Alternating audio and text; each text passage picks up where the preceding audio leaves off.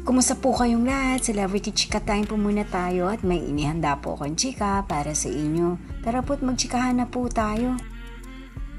Hala, Betong Somalia, nagpatotoo tungkol kina May Mendoza at Alden Richards. Yes, mga makaselebrity chika time, yan po ang lubos na usap-usapan ngayon sa social media ng mga netizens, lalong-lalo na nga po ng mga ADN fans, na itong si Betong Somalia habang naka-online o naka-live para sa kanyang mga online selling, ay talaga naman nagbasa ng mga comment ng mga fans o viewers at napasagot nga po ng tungkol kina Main at Alden. At yan, ichichika ko po sa inyo mga maka-celebrity chika time. Bago po tayo dumako riyan, ay ko po munang batiin mga team bahay, team abroad at mga seniors natin dyan. Shout out po sa inyong lahat at happy Thursday po. Yes po, alam naman po natin kung gaano ka-close si Alden at si Betong. Matagal-tagal na rin po kasi silang nagkakasama sa mga ilang projects po sa GMA kung kaya't marami na rin pong alam itong si Betong patungkol kay Alden. At kung inyo nga pong matatandaan, tinutulungan rin po ni Alden si Betong kapag po ito ay nangangailangan.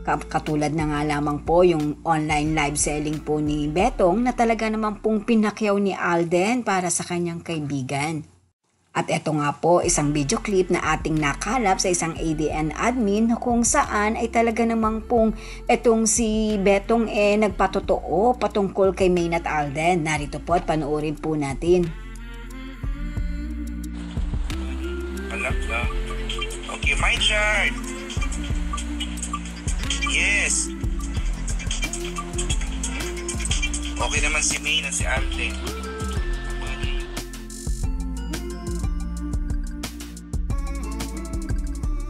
O di ba ayan nga po, malinaw na malinaw na merong isang ADN admin na nag-comment sa kanyang live selling at sinagot naman po ito ni Betong at sinabing okay na okay si Main at Alden. Well, hindi po magsasalita ng ganyan si Betong kung wala lamang po itong alam, di po ba? Yan po ang aking Chika Updates for today. Salamat po sa inyong panonood. Huwag po kalimutang mag-subscribe. Pwede po mag-comment sa ibaba.